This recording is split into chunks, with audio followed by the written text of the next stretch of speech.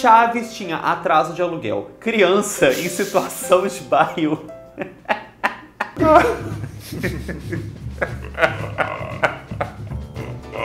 Eu jogava uma maçã inteira no lixo na esperança de uma criança de rua encontrar e comer.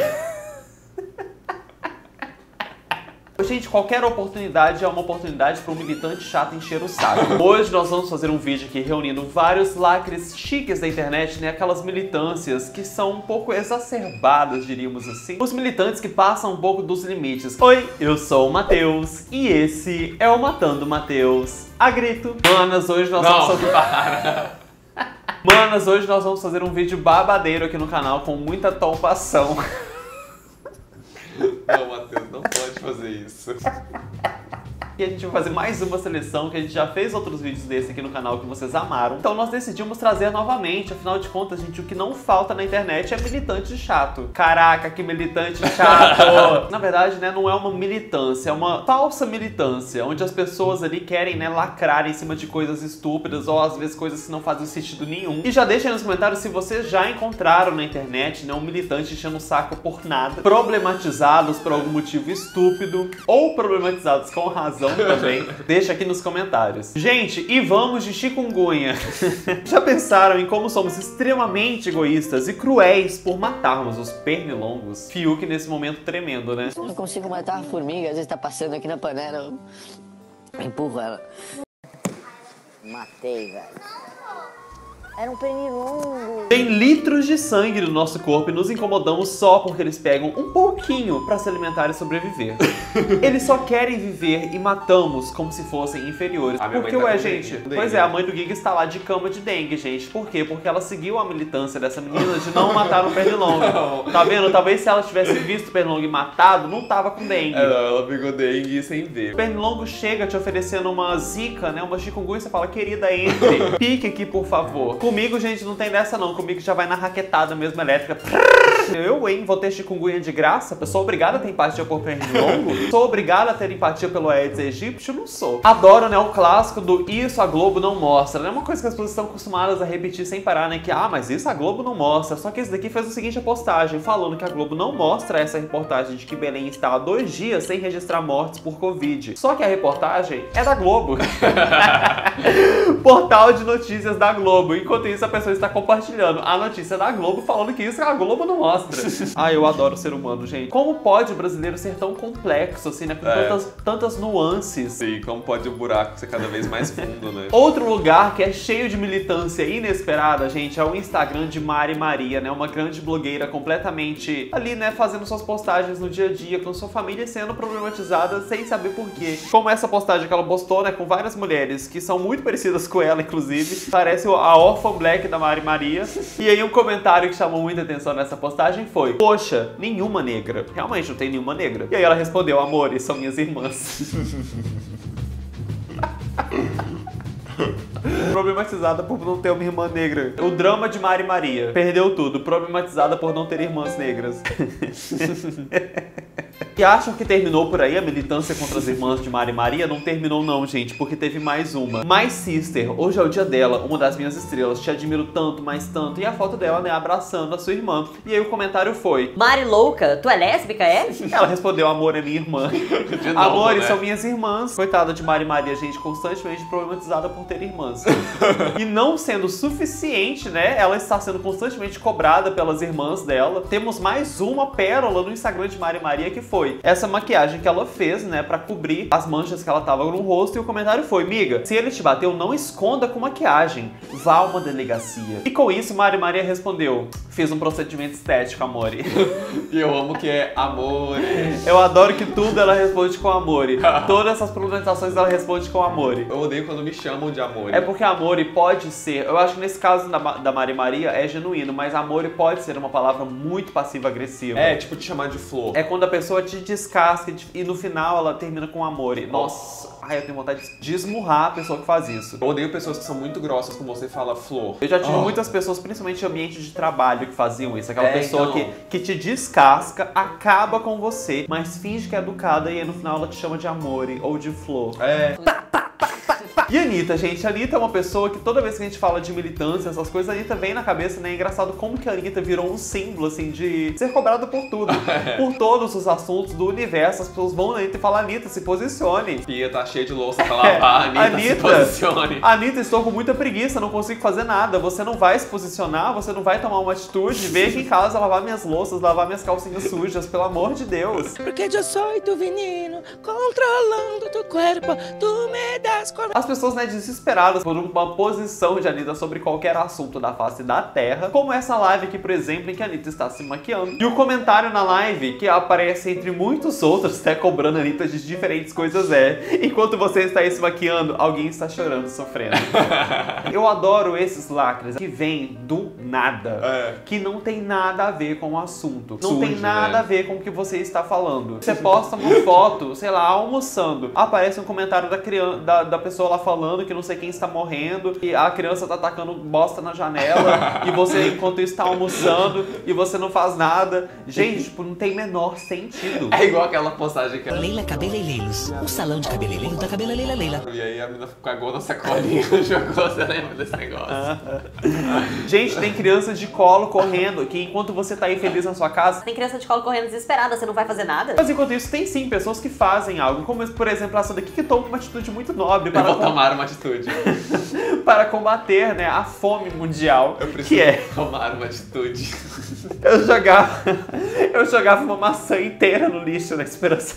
Peraí, eu não consigo falar essa. Eu jogava uma maçã inteira no lixo na esperança de uma criança de rua encontrar e comer. Ai, ou seja, se a criança de rua não encontra, a maçã apodrece ali sem ninguém comer. Ou seja, não é mais fácil você ir diretamente na pessoa entregar a maçã. Não, maçã suja, né? Amiga África. É a maçã toda imunda lá. Tem umas coisas que eu penso assim, não pode ser verdade, gente. Mas a gente tá num nível que as coisas são verdades, é impressionante. Às vezes você tá na internet e você vê uma coisa tão absurda, que já aconteceu, por exemplo, de eu ver uma coisa com um comentário absurdo e dar embaixo assim, kkkk, achando que era ironia, que era piada. Não, gente, era real.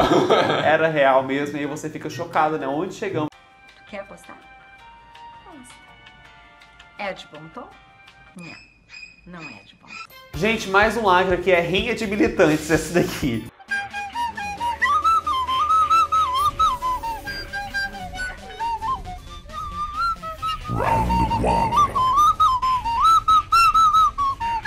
Os militantes em fúria, gente. Cada um militando sobre uma coisa, nenhuma tem a ver todas com a as, outra. todas as tribos, né? De É, todas as militância. tribos. Gente, o melhor de tudo, nenhum lacre tem nada a ver com o outro. Começa com esse tweet. O filme mais visto no Brasil hoje. Esse país tem alguma chance? Não tem. O filme é qual? Scooby-Doo 2, ou seja, eu acho que o país tem chance sim.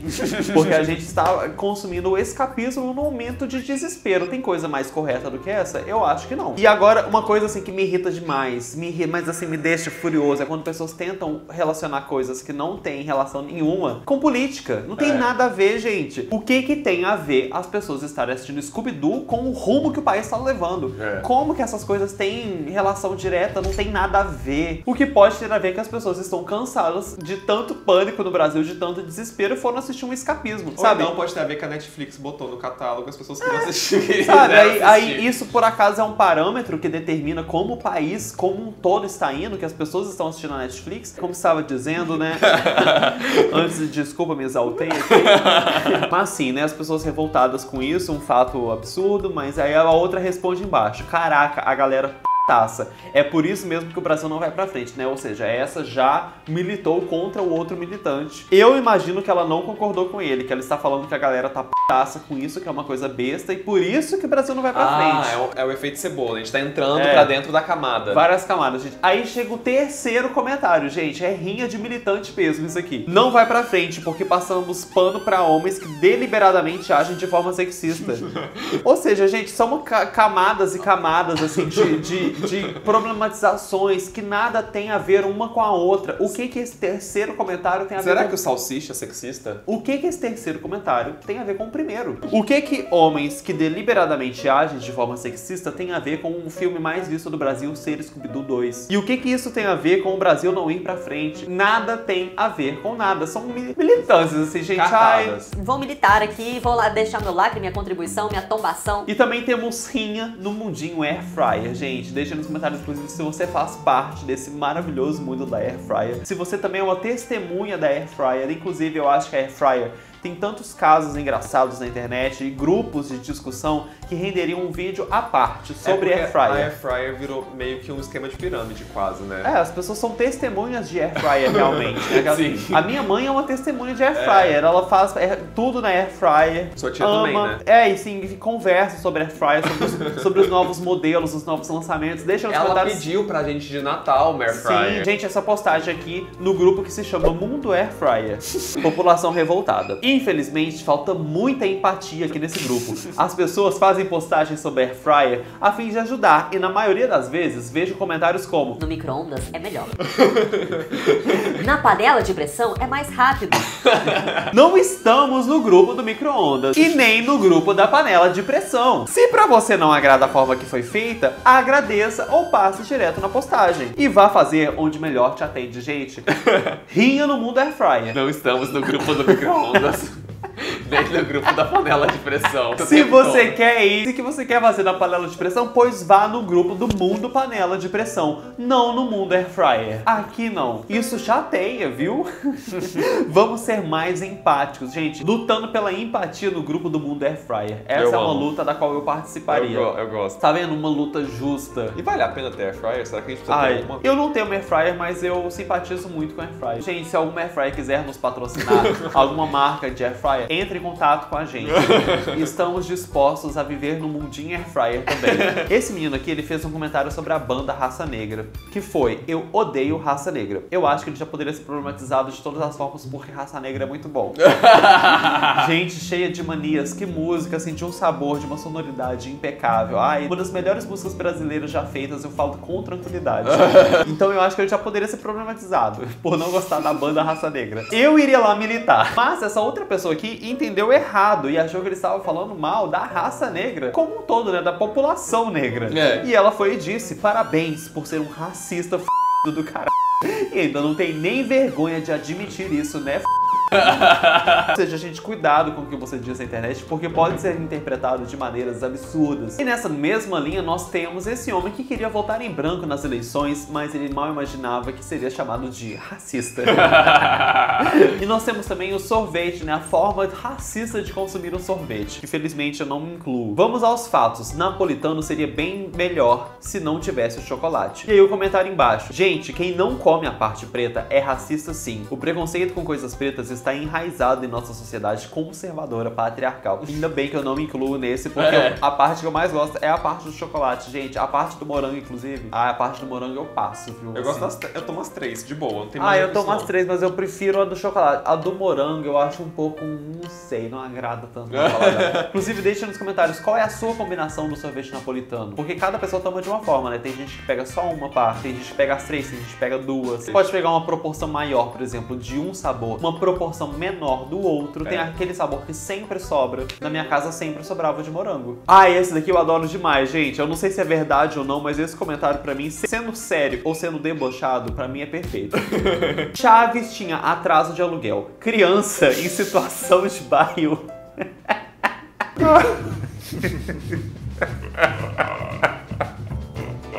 Fome, escola, pai agredindo filha, mãe solo, bruxa.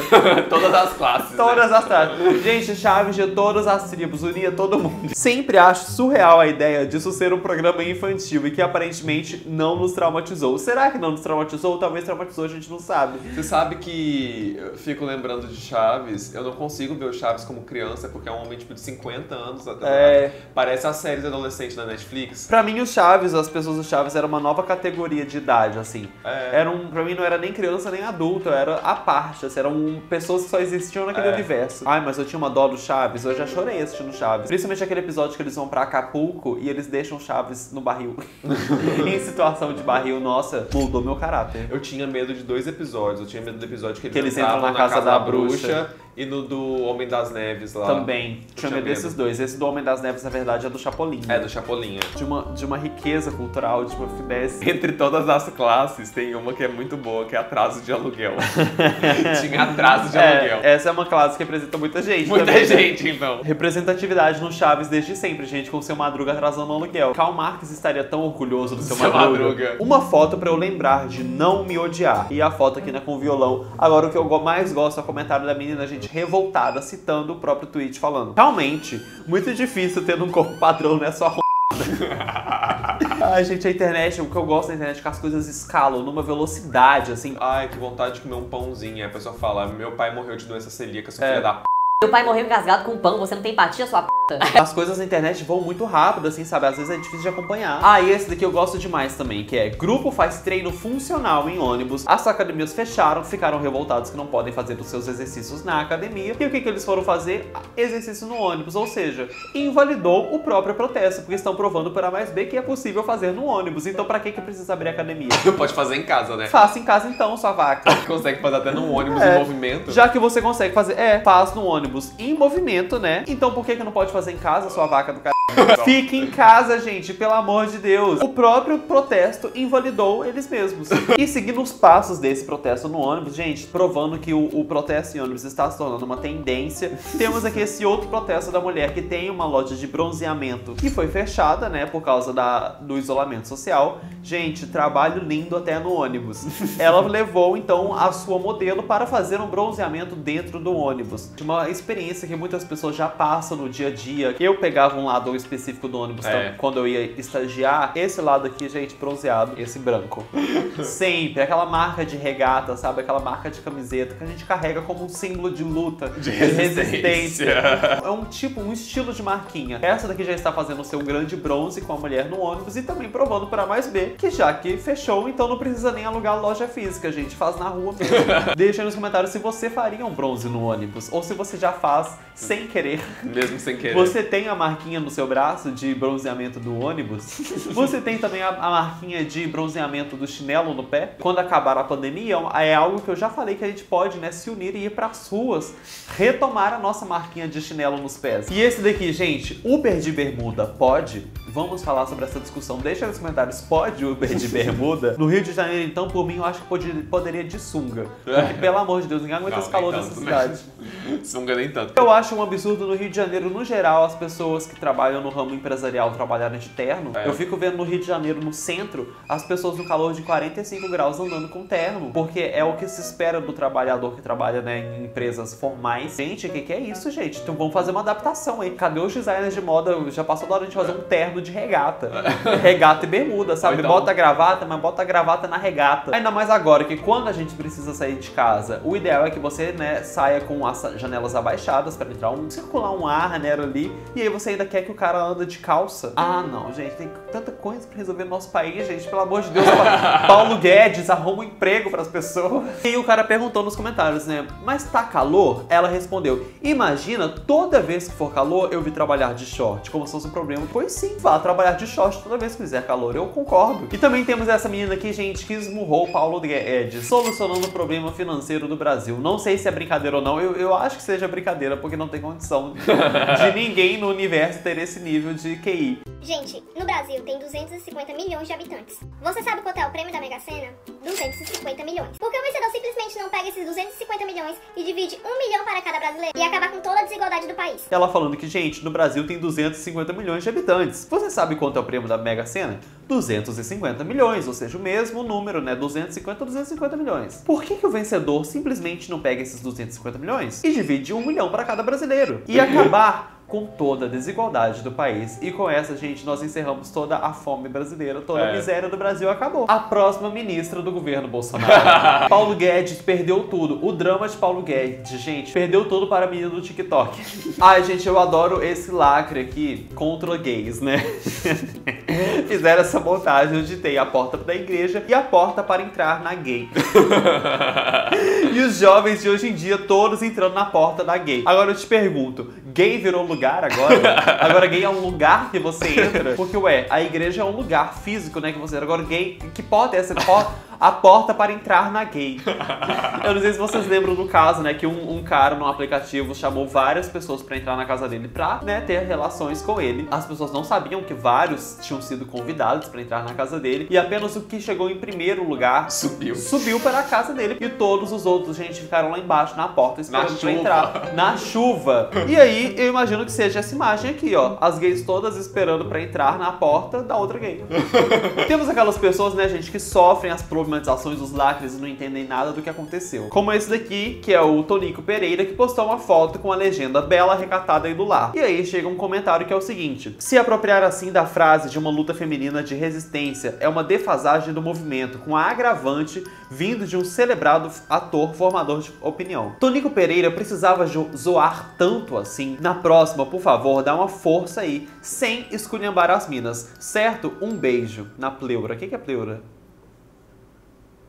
Gente, aí o comentário, né? A resposta de Tonico Pereira, curto e conciso. Não entendi p nenhuma. Traduz essa militância aí, por favor, porque não tá chegando. Deixa aí nos comentários se vocês já viram outros lacres chiques como esses, outras militâncias que não eram militâncias reais, exacerbadas, ou pessoas querendo lacrar em situações que não tinha nada a ver com o que ela tá falando, porque toda oportunidade pra encher o saco de um é uma oportunidade.